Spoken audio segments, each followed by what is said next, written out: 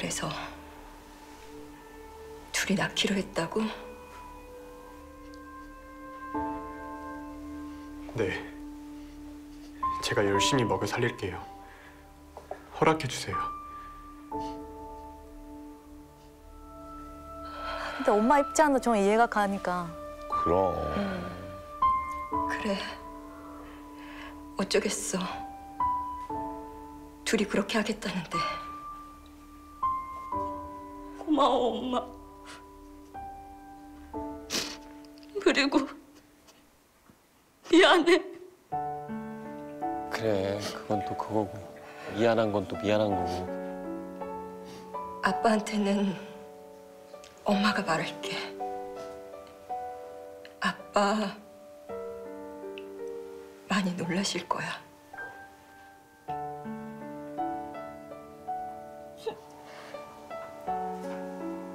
윤철이라고 했지? 그 마음 변하면 안 된다. 알지? 사람 마음이 변하니까. 아휴, 제발. 네. 저 민영이랑 아기한테 잘할 거예요. 어머니 감사합니다. 감사합니다. 그렇게 허락을 받은 우린 양가의 도움 아래 아기를 낳기로 했고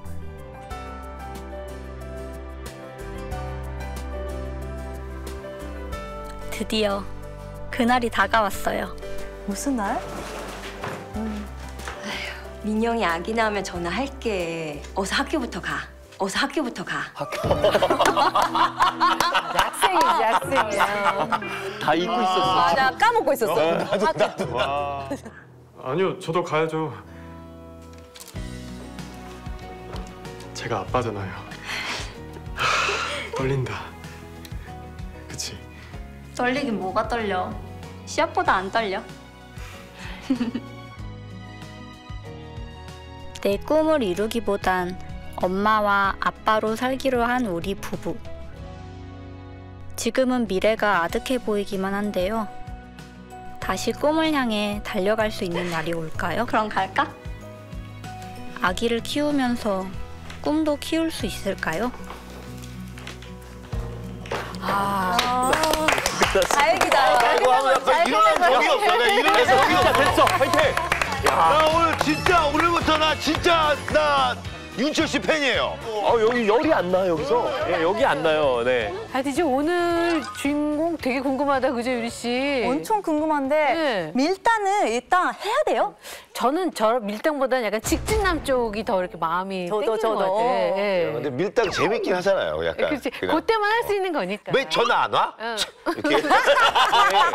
아까 그 드라마에서 봤을 때 아니 당연히 여자분이 이제 아니, 나는 이거 이렇게 해서 뭐 미안. 연애할 수 없어라고 얘기했을 때 나 그분 당분간은 입장에서는 남친 밀당이 안 아니라 만들려. 그렇게 얘기를 하니까 내가 좋아하는 사람이 어. 아 그러니까 이제 밀당을 하려고 한 게 아니라. 그러니까 사라져줘야겠다. 아. 그러니까 그냥 응. 순수한 이게 남자였어. 순수했던 거네. 너랑 끝났어. 그러니까 어 알았어. 그런 결연한 의지가 어디서 보였냐면 가다가 보고 돌아서. 마주치면 안 된다는 생각에. 그냥 내가 사랑하는 여자가 예. 어, 싫다 그랬으니까. 이게 완전 귀엽네요 이 커플이.